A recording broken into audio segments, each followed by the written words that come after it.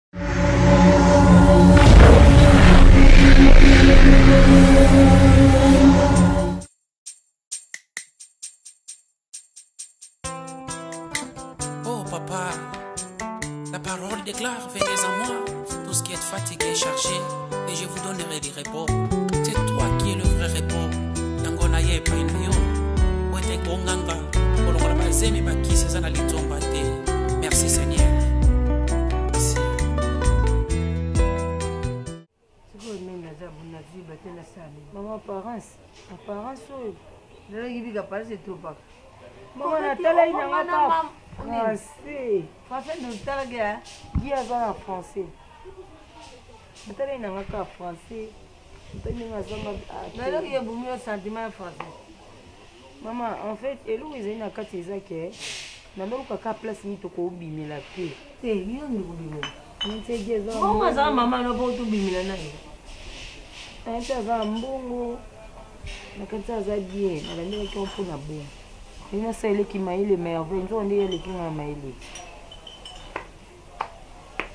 Gianni low te. Aza na eloko te. Message batindeli ye na banque na 2015. Mm. Yango kala alakisaka. Donc azaka moto ya mbongo ya kala. Message wana batindelaka ye na kala ya aye aborke yango akoma kotambola nango. Iku la preuve. Azo kokotela sentiment. asala ndeni mama place date eya message eya aronie tobenga ngo koronie akati boye alakisaka parti babike no babloke ye compte naya kokota sikoyo na telefone ye namonake message ntango nayo omona message na mobimba na koponaki eza message ya kala bapese banda 2000 ntango yo komona message soki moto eza na gene kala Homme de sentiment. Maman Jeanne. Ça, Bongo yo Bellevue. comprena te le jour oyo tokutana na Pagi wana apesa biso adresse nde atikisa biso. mwana mbala wana abetela biso bafatie moko ndo namona pena escro bondo donc okoti kore ame esprit kaka nde mobali alingi yo mama nayebisa yo na ba mama ba parents nga mwana na mwasi ya liboso nani mwana na nga liboso nayebisa yo nga ya noka moko mwasi ozala na ye na mwana wa liboso mama ya na ye mpo namoni mama nani ashwa te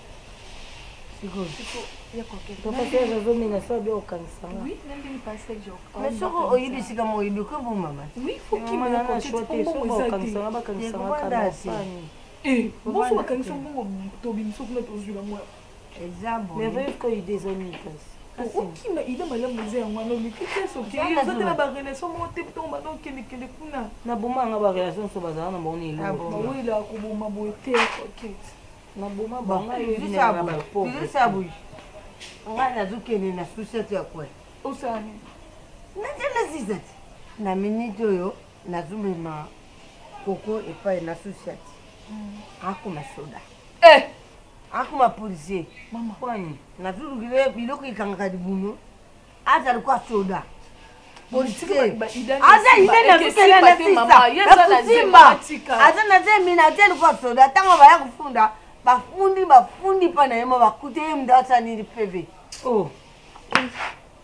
matika baidane yakoketi oza na zemi na yo kuna na prison mambo ezala ebele ebele ebele solution ya bien mpo na ngai ezaki kima kima mpona mitopusani matikaomoniaongoleli ya yo mokolo me vungoleli na mwana bebe mabe hmm? eza bien te yango na ngai nalakisa teni ya basoda bien te tusa boye ekoki te mpe buzoba mwa ndenge nini moto azoya kobala yo hmm. ata mbongo oyo akotya na enveloppe eza te ayebisi oke babloke compte na banke ondimi noba mikumba fede nzaya papa serge defso mbongo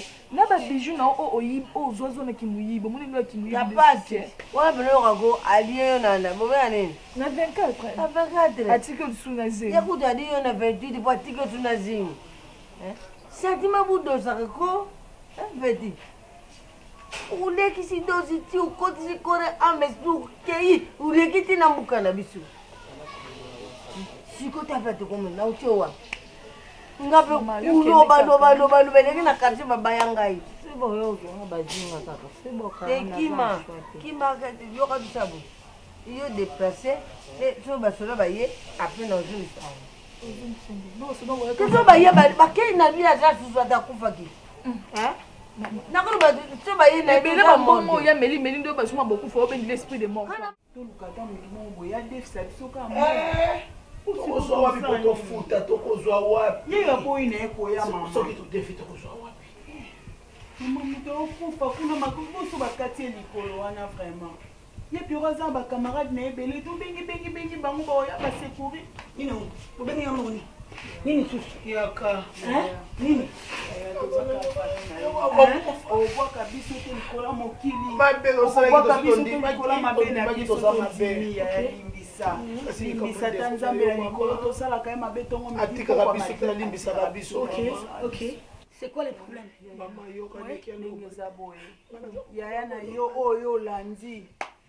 oyo amela libela mama atikeli yo alobi leki na nga mela na esengo nyonso afongolela yo nzela ah, ndenge eza boye ya piro baza kuna na hôpital balingi bakata ye lokolo dozo na ngai soki ointervenir te ndeko na yo lelo akozanga makolo kosepela komona ndeko no na babeki ah.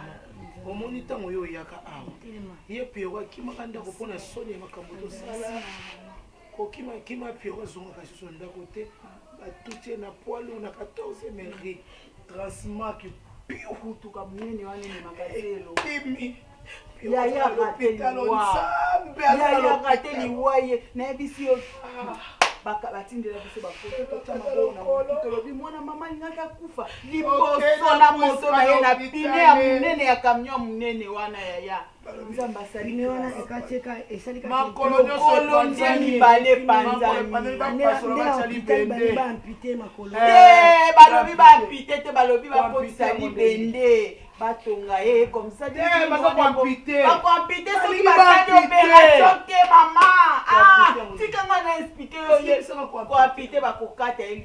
te balobi nde soki basali te bakokata bakoampite sikoyotoyokanamama zela likonzi aloba toyokana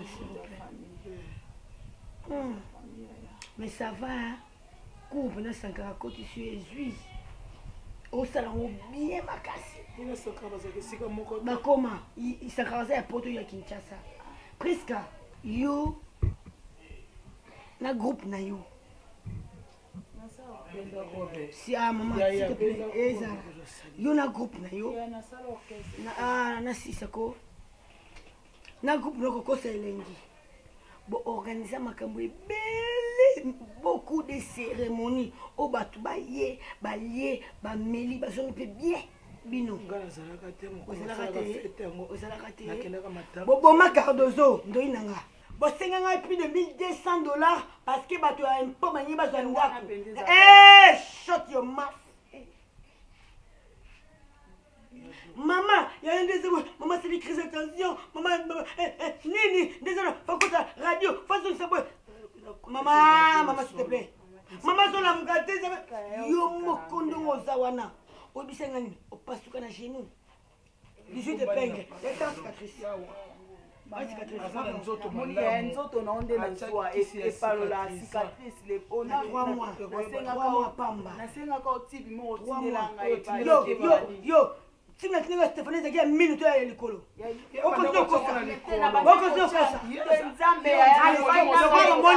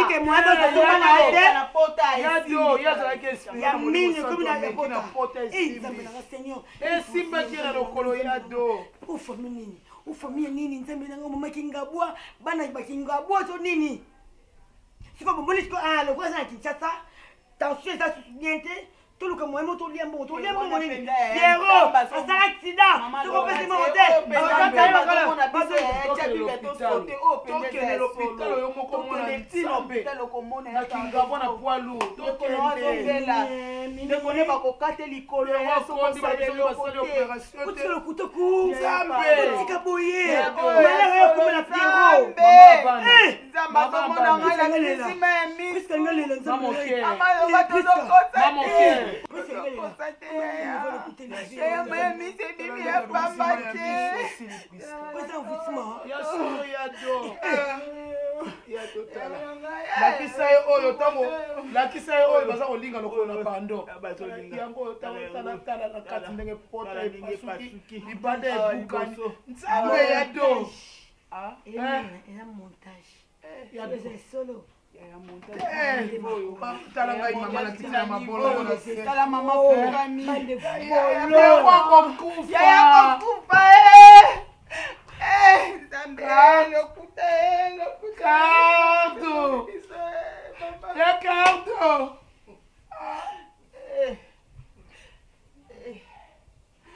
nani akotela ngai na lokuta nani avuta ngai nani akotela kaka monoko na ngai nalobaka makambo ya lokuta soki nakosi te naza koyoka mabe sikoyo mwana aza kosouffrir na mpasi soki mboko ya operation eza te bakati mwana makolo nakomi kopedre makolo ya mwana likolo ya lokuta ah!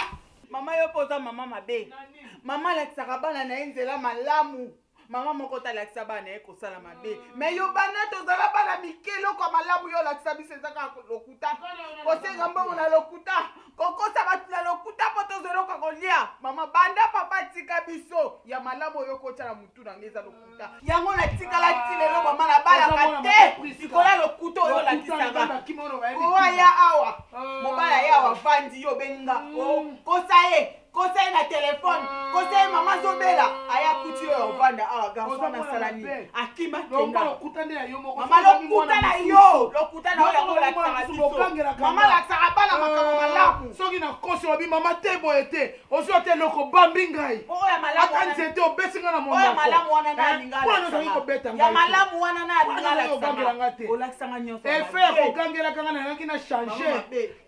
epe akogangela ngangi na change oyokisaka nga soni mwana mpe edikaka mama mama aza être faible mama esprit ese ekoli mama mayele ese ekomi ya bana mikie nakomi na mayele ya bajoue nakomi na mayele ya bajoue mwana aza kokufa likolo lokuta mwana mabe yonde mokosa kobomisa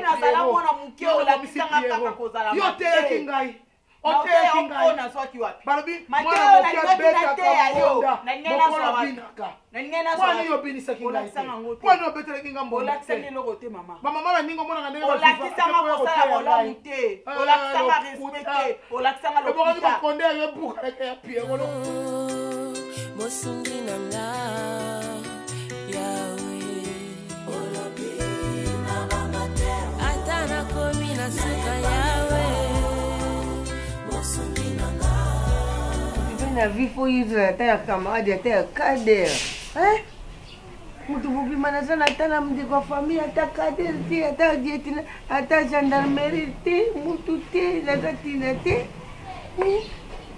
Ana buke makambo ko famille eza te mpo nini nzambe alolo tisalanga buke ekoketi na pekisi ekoketi mwa mwasi ezalaka kolula boye te mwa mwasi elekaka lokuta boye te ya bino ye nde moto aleki bato nyonso na lokuta soki akutani na mobali oyo badefi moko ya bato nanu ayibi ye babiju donc akosi mambo ebele ta lelo epesaki osi ya retrouve na zemi ya bongo vraiment mobali abakisi yo charge likolo charge na famille oku tolala na manga tolamuka na manga ah koke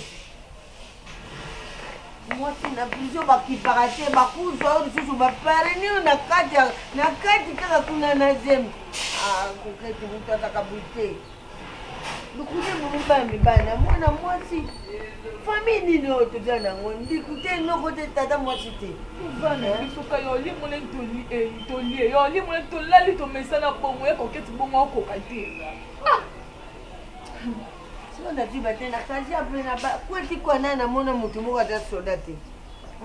eloko ya mabe lisusu nazomona na kati ya quartier oyo balabala banda major aza te kapitaine aza te kepa mali yosola nobondela ye kaka mpo na minti oloko osala eza te toa te na different te oyo tobimisa topesa na ondampo eza te eza te biso mokongola biso kande toza boye ndenge nini nakotekisa mamwana eloko oteka te tika bavantere anakende pa mali ya bosolola eloko noteka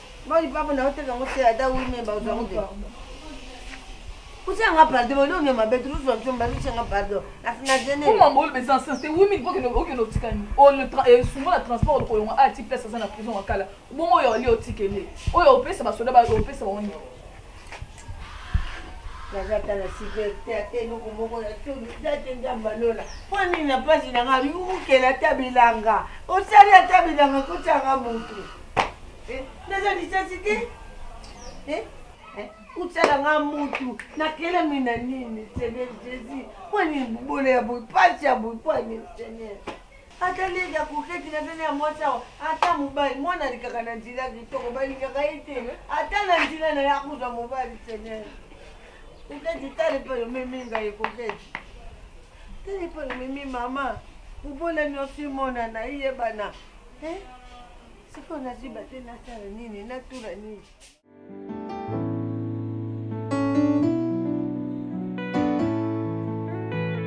yaya na yo arate makambo ya bien na vie na ye likwa lokuta demagogie comment comment est ce que lokuta motu ekochange na bacontinue elongo ema afrique ekomi ti na allemagne pa royaume makasi donc azobetanga lisolo ya kokete komisi bazalaka na ye boye o oh!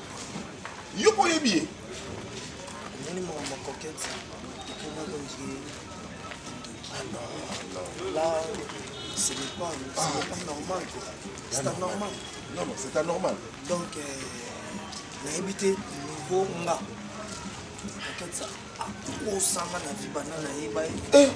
azokoma ntina niveau akokosanga mama lea aza mama aboti ye papa serge aza papa oyo aboti ye or c'était pas comme ça mama na baye aza mama mama oyo aboti ye eh, le nom c'est qui encore mama mama loso eh. aza mama c'est normal moto nyonso aza na ndenge nzambe atinda ye na mokili toponaka bafamille te oyo ya kobotama nzambe moto atindaka biso na mokili asali ke obima na famille tel obima na famille tel obima na famille tel ntango ozo excuse ntango ozosala lokola ozochange famille ezondiki oza koakize nzambe kalema nayebisi yo totelema na kokete osola Tellement kala na moni maman loso azoya bon image ya mère vraiment yebi ka mwa kala ese ndeti kokima mais nalobi na yo modèle coquette awangana mère na misu na ngai nayoka ba chair de poule eza makambo so ekomela biso na vie mpo tozwa donc manière to façon nini ozala na bato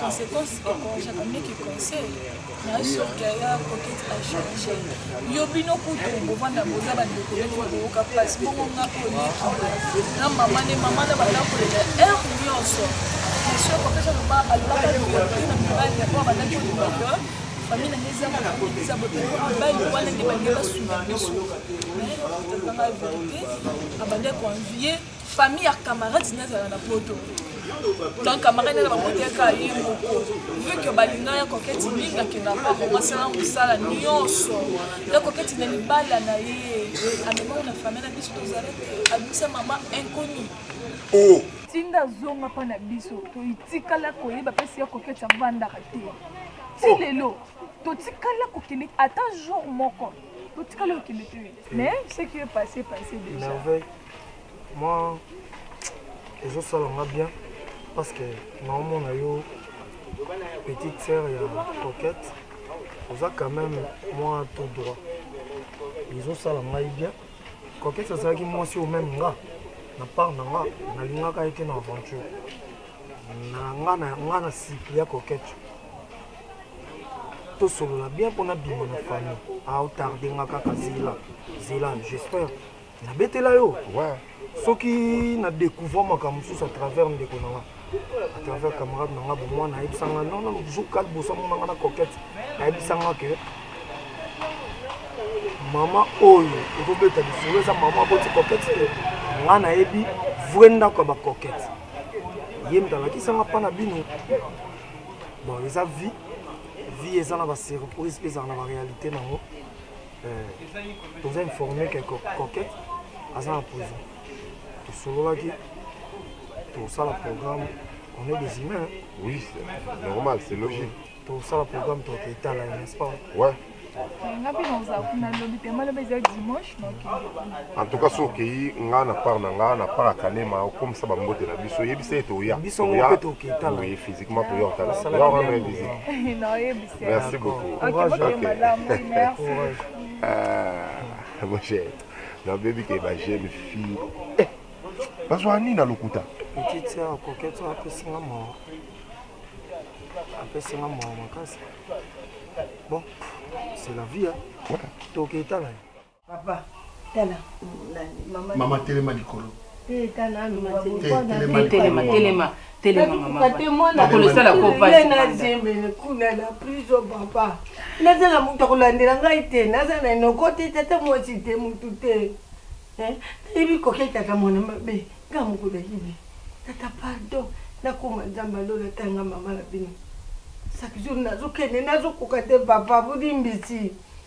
Hum Bo detire nini wana ba bimisa ye pardon mama Leya pardon. Papa pardon tala nga mama na bino tala nazo koka te. Na njila na kende nazo nga mabako nazo koya nazo telema papa naza na moto mosusu te na komba Yesu Masiya. Pardon. nayibi mwana aza lokuta nayibi nayibi lokuta ya mwana nayibi mabe akutanaki na jango papa pardon papa soki na soki na osala makambo oyo Soki na kobimisa mwana wana na esika azali eza po na yo mama. Merci tata. Merci. Parce que olakisi osali preuve ya motema ya moboti. Même mwana na biso na poto asepelaki na acte ya coquette te. Maman Lokuta ezo koma mingi na bo moyi ya bana eza pona nini envie envie mama azo boya epa na bango au detriment ya lopangu mususu croyant que na lopangu wana nde baza ba nzambe te soki nzambe asalaki biso ngolu tozala na mwa possibilite ya kolia fufu ya kolia loso ya kotonga mwa ndaku Nzambe wana asali bino pe ngolu ya ko vivre bozala lokola oza na pema na bomoi egalite yango wana mutu moko te akufa akenda ata na 10 dollars na ye na poche mutu moko te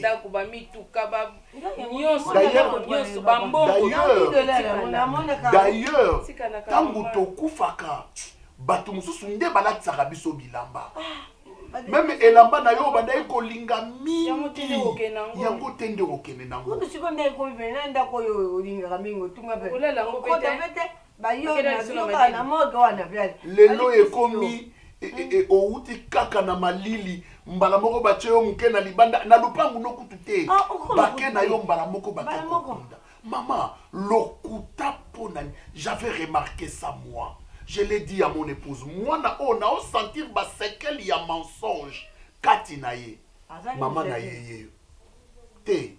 Mwa Ba- lolenge biloko ya ya lokuta. ayebisaka papa banda koloba Ayebisaka na ye, ngai. namonaka Ngai kaka yango, bolingo ya mama. mwana nabi te etika Ngai mwana bolingo mama, ngai na nayebi. remarkaki te E mwana Te. mobali wana escroc. Django. Oui. okobenge django oui akomprenaki ke coquete aza moto ya lokuta yango ye bakotaki na jeu ya coquete ya lokuta hmm. parce que soki coquete amemaka ye epa na bino amona ndako na biso amona ndako na biso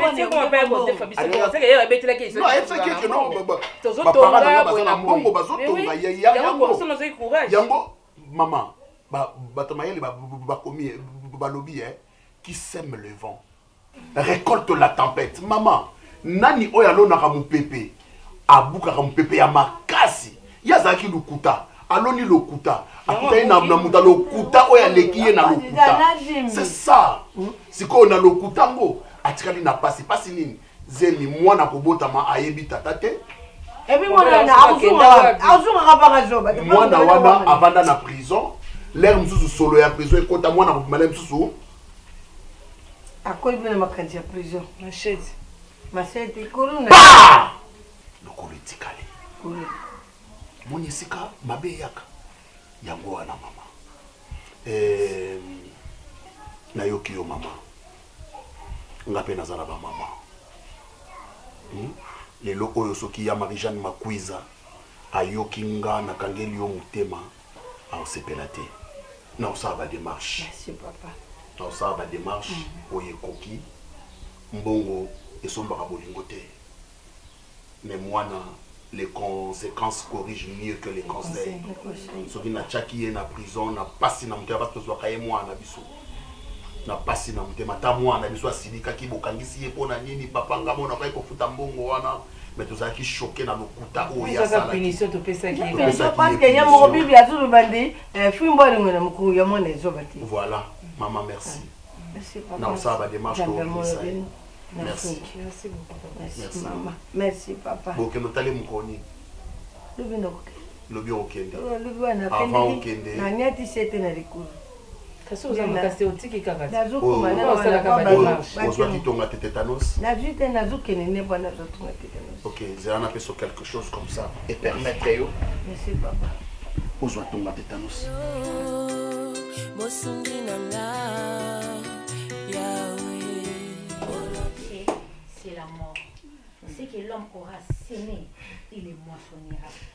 Omoni resultat lelo ba lokuta na bino nionso tout lokola elekaki verite mpe eye nango mais verite moyen eprime eza te parce que lokuta si esa nini evanda s'il te plaît nayebaki déjà obonde kolobaki mama lokolo je savais que ezalaki na wa mensonge omesana déjà mama koti koma mpo lokuta elekaki trop opération mama hernie ya, ya, ya pierrot koko na ngai suki ekomi kolongwa na motu lokola moto abela maladi suki ya lepre presque tout sala yango wana ntango komema makolo naboyaki kondima yango epuis mpo monaka ke non boyaka na kati ya mabe oreconnaitre nango ke osalaki mabe olo avouer noka verité ke leki nanga limbisanga moni 10 000 dollars wana tokosaki na biso non non ozwi la poudre de scampete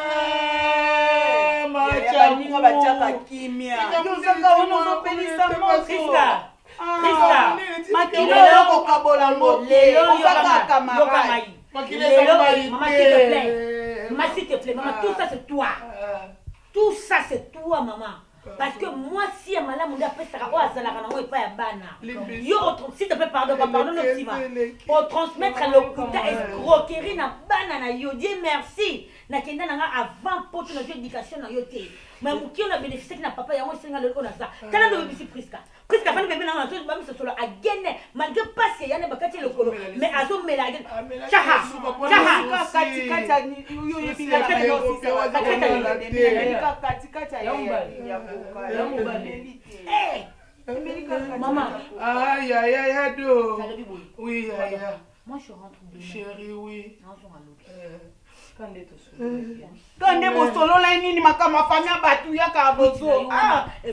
sila na mbata priska nakopesa mbata ya piyo ozonga normal ozonga betiske bokosila buzoba bokosila buzoba ok mimiti batokende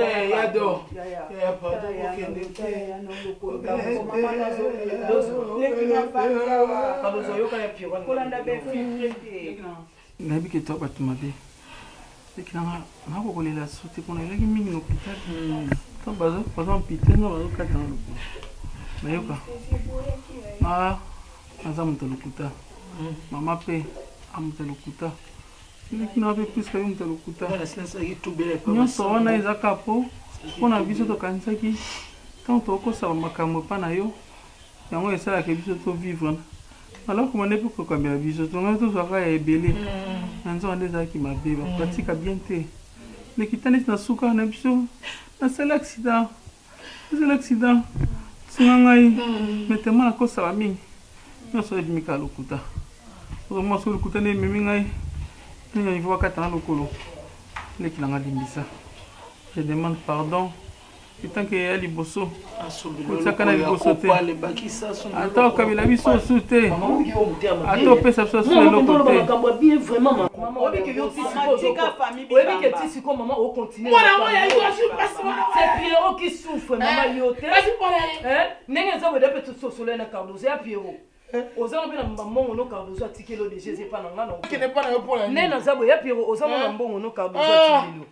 naobimisa yango naopesa a partir d'aujourd'hui nakolia na bino nakomela na bino na klase ya mwana piro oyo boboma nyonso ekomi na chargeoyoka ata soni nde mamba fami ya bato ozwi mpe ledebo bandi koloba yango bazoboya bino mabala moye bobala eza te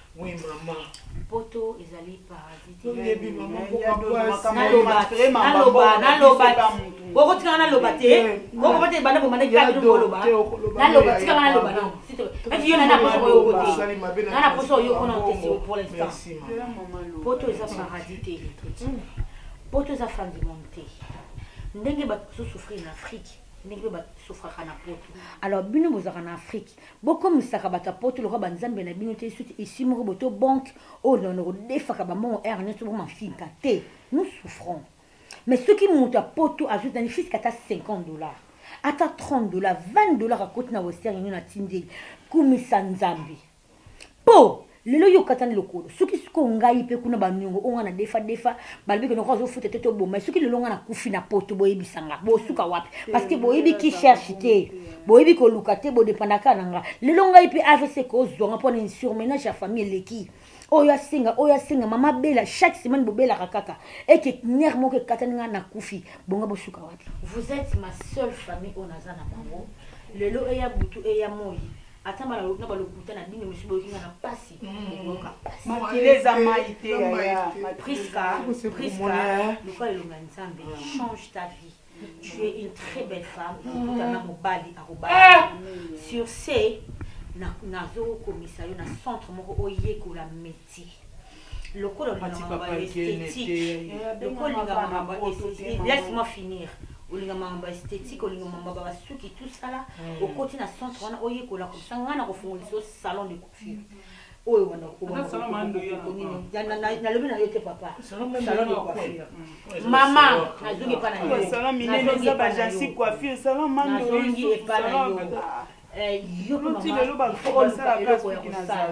na coin awa namoni osi oluesa bato tuba me kotekateka or oza na coin na yo kotya mpe eloko nonji oteka mpo ozalaka kaka na dépendance te kopesanga bakombo okala wana tobando banekopesanga bakombo wana te donc zela oza nango wana molo ya pierro ya pierro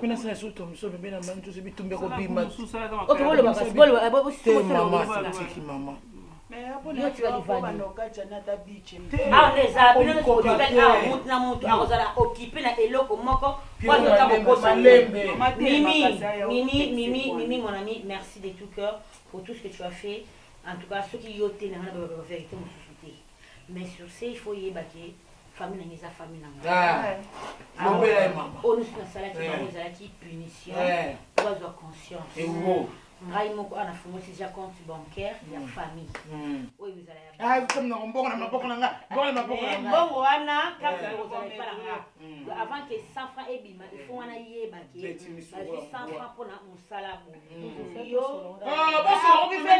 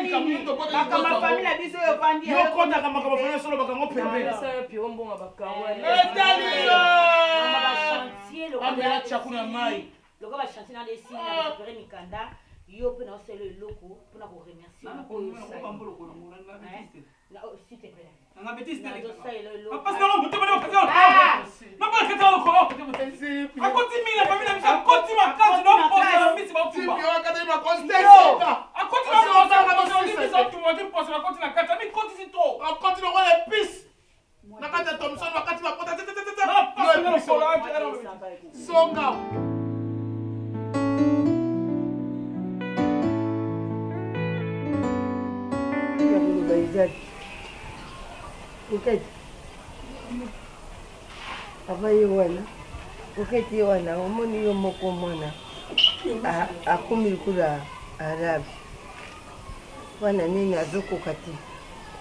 Lokola yo moko oza wana asenga pardon. Te moko bata façon bolobaka nde il est contre facteur et premier de servitude pénal. Mwana yo wana aza liboso na yo papa. Se asali contre facteur et premier servitude na ye na prison. Ekoki etikali kaka aya asenga yo pardon. Merci maman. Eloko ya ko luka ko senga pardon eza te, coquette aza muana na nga eh, oyo na salaki eza pona ko pesa ye toli. Nga na monaka makambo ko banda kala. Coquette, lokuta na vie eza mabe makasi. Papa. Même la Bible les oloba Dieu déteste le mensonge. Batangi bato lolenge wana bakokota lola te. yango napesaki yo punition wana okende je sentais en cet homme là oyo ayaki lokola mobali na yo abala yo namonaki lokuta ezobima na sa motema nalingaki nakomisa bino ntina suka parce que ozalaki na mposa ya libala ozalaki na mposa ya extravagance bato bamona yo bamona ke yo nde ozalaka na ndako etage eza biloko ya mokili Ndaku etage na nga wana eza biloko ya mokili. Pour ton information, eza ba ndeko na ngai Willy Mbuyi Lukusa l'architecte international. Pierre Malongo international, l'architecte inter international Malongo Pierre. Bango nde batongela nga ndaku wana nafuta ata 100 francs te. Lokuta eza mabe, eko kokotisa mutu na place ya mabe, na bisika ya mabe. Omoni mpo na lokuta, mpo na komimonisa ke nga nde nazali, batu mingi bakoti ba ndako ya ba nganga. Lelo otala otikali na zemi, otikali na zemi, mobali akimi.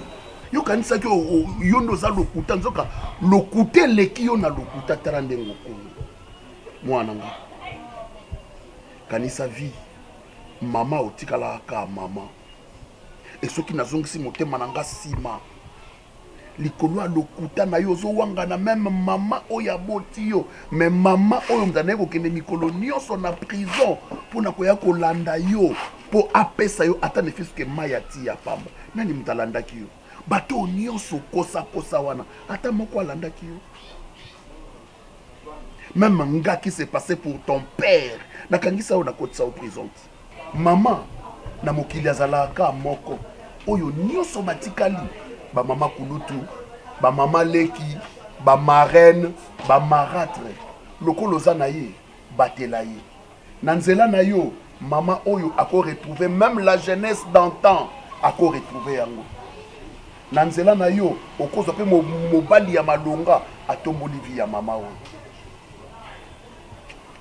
une preuve pour Merika qui obimi prison Aza camarade na yo bien que ba makambo nyonso elekaki oyebi comment est-ce que bozalaki intime euh, besoin de quelque chose mama le aza wana aza mama na yo mama aza kaka mwana na yo bien que bamefe nyonso okaki kosala olakisaki motema nalobaki yango moko wana na ndako olakisaki motema ya bomama ofukami meme oleli meme na mpasi na yo na lokolo ozalaki nango nzambe ya lola apesa osu mikolo milai eh, tobotaka bana mitema ya bana peut-être nde mosusu nzambe moto atyaka yango na kati oyo oh, mwana abimaka moto ayebi te mais lokola aza kaka mwana batela ye merci mama